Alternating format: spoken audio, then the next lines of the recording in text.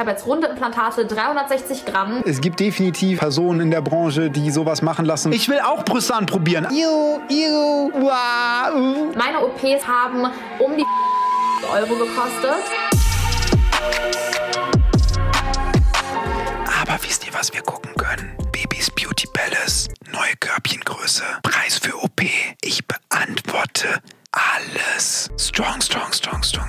Es ist wahrscheinlich so ein QA bezüglich ihrer Brust-OP, ihrer Nasen-OP und äh, allem, was dazu gehört. Sie hat ja ein Video rausgebracht dazu, wie es so danach war und beantwortet jetzt hier an dieser Stelle Fragen. Ich freue mich, dass ihr eingeschaltet habt. Ich dachte mir, nach dem mhm. ganzen äh, Trubel um meine OP mit der Nase und den Brüsten sind so viele Fragen aufgekommen, die ich auch noch nicht bewusst noch nicht beantwortet habe, weil ich mir dachte, bevor ich in dem Video mal was beantworte und in dem Video und auf Instagram mache ich mal ein gesammeltes Video und werde alles beantworten beantworten. Okay, dieses Video ist jetzt offensichtlich das, wo alles beantwortet wird. Ich bin gespannt. Hast du runde oder tropfenförmige Implantate? Sind Implantate nicht alle rund? Gibt es auch eckige? Ich reiz nicht. Rund oder Tropfen? Wow. Ja, aber Tropfen sind doch auch rund. Ach so, ich verstehe jetzt rund im Sinne von wirklich so kreisrundförmig. Ich verstehe. Also so, so halbkreisförmig. So halbkugel. So wie eine Halbkugel. Ja, ja, ja, ja. Das ist so ein komplexes Thema, was ich mir selbst niemals so vorgestellt hätte. Ja, tut mir leid, Leute, aber rund und Tropfen ist doch falsch. Da müsste man noch sagen halbkugelförmig oder Tropfen. Also, wenn wir jetzt schon topologisch hier korrekt sein wollen, dann müssen wir doch, rund ist das, ist auch ein Tropfen. Also. Mich im Endeffekt für runde Implantate entschieden.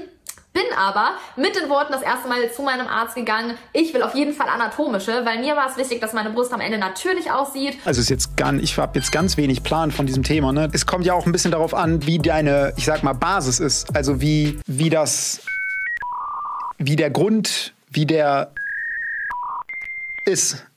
Ne?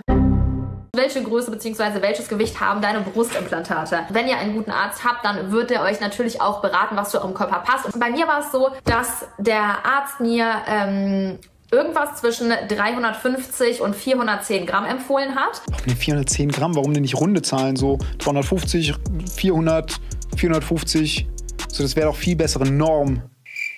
Ja, okay, weil Körper keine Normen sind. Dumme Frage, ja klar. Daraufhin habe ich dann verschiedene Sachen auch in Beratungsgesprächen anprobiert und habe mich. Anprobiert? Kann man das so da drüber dann anziehen? Sie beantwortet gerade Fragen, aber die Beantwortung, die sie macht, die macht für mich noch mehr Fragen. Was heißt denn anprobiert? Ich will auch Brüste anprobieren. Also will ich nicht. Also es ist nicht, dass das jetzt mein Traum ist, sondern ich will einfach wissen, wie das geht. Ich will sehen, wie jemand Brüste anprobiert. Also ich will auch nicht sehen, wie jemand Brüste anprobiert. Also es ist jetzt nicht eine Leidenschaft von mir zu sehen, wie jemand Brüste anprobiert. Ich würde gerne wissen, was es damit auf sich hat mit Brüste anprobieren. Wie, wie ist das denn? Die ist endlich für 360 Gramm entschieden. Also ich habe jetzt runde Implantate, 360 Gramm mit einer hohen Projektion. Also Projektion ist, wenn ihr das Implantat quasi mit der flachen Seite auf den Tisch legt, dann sieht das ja so aus. Und es gibt niedrig, mittel, hoch, sehr hoch. Ich glaube noch andere Zwischenstufen. Alter, das ist ja komplizierter. Manchmal, also bei Cyberpunk habe ich mir schon gedacht, als ich das Game gezockt habe, so da kannst du ja auch in einem Game so deinen dein Körper so verändern und so. Und da dachte ich mir schon, boah, Alter, der Skilltree, der ist schon komplex. Das ist schon, da muss man sich erstmal reinfuchsen. Aber in der Realität ist so ein Skilltree ja noch viel krasser. Welche BH-Größe hattest du vorher und welche hast du jetzt? Im Endeffekt bin ich jetzt von einem nicht ausgefüllten A-Körbchen auf ein volles B bzw. kleines C gekommen. Für alle, die es interessiert, ich habe einen Umfang bei den BHs von 75. Was wow. Umfang von 75 und dann großes, kleines, kleines C, großes B. Also so mit so Umfang kann ich ganz wenig anfangen. Wow. Ich bin mega happy mit dem Ergebnis. Am Anfang habe ich schon gedacht, hä, jetzt habe ich nicht unbedingt ein C-Körbchen und so meine erste Reaktion war so, oh Mann, voll schade, warum habe ich nicht doch die größeren genommen? Aber auch der Arzt hat gesagt, er würde mir jedes Mal wieder zu den 360 Implantaten raten, denn das Ergebnis ist wirklich absolut perfekt für meinen Körper und im Grunde genommen ist es einfach nur ein Buchstabe oder eine Zahl, der genauso wenig wie Gewicht auf der Waage nichts aussagt. Das finde ich schön, dass sie das auch nochmal sagt. Man sollte wirklich nicht darauf achten, dass man irgendwie eine bestimmte Zahl unterschreitet oder überschreitet. Außer bei YouTube-Abonnenten. Da ist das ganz, ganz wichtig. Also jetzt abonnieren. Letztlich kommt es ja einfach auf den Körper an. Letztlich kommt es ja einfach darauf an, wie wohl fühlst du dich mit deinem Körper. Ich glaube, wenn die Brust einmal richtig abgeheilt ist und natürlicher hängt und aussieht, dass man nicht unbedingt denken würde, dass ich eine Brust-OP habe. Also das Ergebnis ist wirklich so schön und natürlich geworden. Ey, das freut mich so sehr, dass sie zufrieden ist. Weil ich glaube, bei sowas kann, können auch Sachen wirklich schief gehen und dass da jetzt alles glatt gelaufen ist, das ist schon schön. Ein paar Leute haben auch gefragt, wie sich das jetzt anfühlt, ob man die Implantate spürt oder ob sich das weich oder natürlich anfühlt. Also wenn man jetzt die Brust zum Beispiel anfasst, dann spürt man da überhaupt keine Implantate. Auch so, wenn ich jetzt meine Brust spüre oder daran denke, ähm, spürt man überhaupt nicht, dass da irgendwie ein Fremdkörper drin ist. Dann haben noch Leute gefragt, wo ich den Schnitt äh, habe machen lassen, also wo das Implantat eingesetzt wurde und wo die... Stimmt, da gibt es, ich glaube, du kannst ja unter der Brust einen Schnitt machen und dann rein, aber du kannst auch, damit du hier keine Narbe hast, hier irgendwie, glaube ich, reinschneidest und dann so, dass du hier hinschiebst. Ich glaube, das geht auch. Narben jetzt sind und ob das Implantat unter oder über dem Brustmuskel eingesetzt wurde. Da gibt es einfach verschiedene Möglichkeiten. Man kann wow. Brustimplantate über die Achsel operieren, über die Brustwarze oder unter der Brust. Stimmt, man kann ja auch, ja, Brustwarze geht ja auch. Du kannst einmal einen Schnitt machen hier um die Brustwarze und dann die Brustwarze abnehmen. Stell dir so hier vor, nimmst sie so ab, legst sie so auf ein Tablett, so, iu, iu, wow, weiß ich nicht, weiß ich nicht, Digga, weiß ich nicht. Mir wurde dazu geraten und ich wollte das auch sowieso, den Schnitt unter der Brust zu machen. Das habe ich jetzt auch und das sind wirklich zwei Schnitte, die sind vielleicht so lang und die sitzen hier relativ außen, jeweils an der Brust, einfach unter der Brustfalte. Und ich habe das Implantat hinter dem Brustmuskel. Da hat mein Arzt mir auch zu geraten und das, äh, da habe ich mich auch zu entschieden, weil das, ne, das Ergebnis dann einfach äh, in meinem Falle natürlicher aussieht. Die Narkose an sich, da hatte ich echt Angst vor, weil ich noch nie eine Vollnarkose hatte. Das stelle ich mir auch stressig vor. Vollnarkose. Ich hatte auch noch nie eine Vollnarkose. Gleich passiert was ganz krasses, gleich ist diese OP und ich gebe mein Schicksal in die Hände dieser Profis, die um mich rum sind und ich bin jetzt gleich weg. Alter, das muss ein crazy Gefühl sein. Bei mir war es wirklich überhaupt nicht schlimm. Also ich bin aufgewacht im Aufwachraum und ähm, dann kam relativ schnell auch der Julian zu mir. Auf jeden Fall habe ich im Aufwachraum sechs Stunden, glaube ich, gelegen, weil ich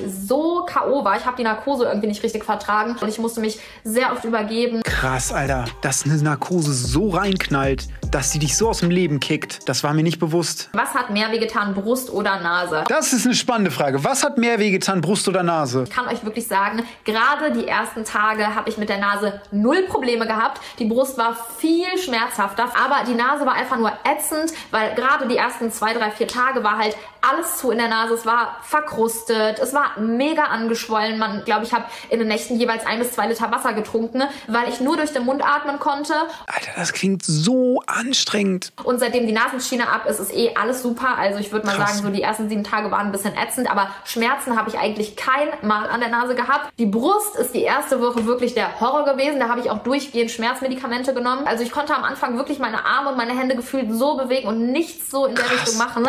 Puh, wenn du eine Woche Schmerzen hast und es dann weggeht mit den Schmerzen, weiß ich nicht, ob ich da Bock drauf hätte. Ich hatte eine Ex-Freundin, die auch eine Brust-OP hat machen lassen. Die hat eine Brustverkleinerung sogar gemacht. Da wurde, glaube ich, auch der Nippel sogar kleiner gemacht. Also sozusagen der Nippel ausgeschnitten. Dann wurde ein Schnitt von Nippel nach unten gemacht. So als hättest du so, als so die Brust. Und dann, wenn du den Schnitt da unten machst, dann kannst du ja so kleiner machen.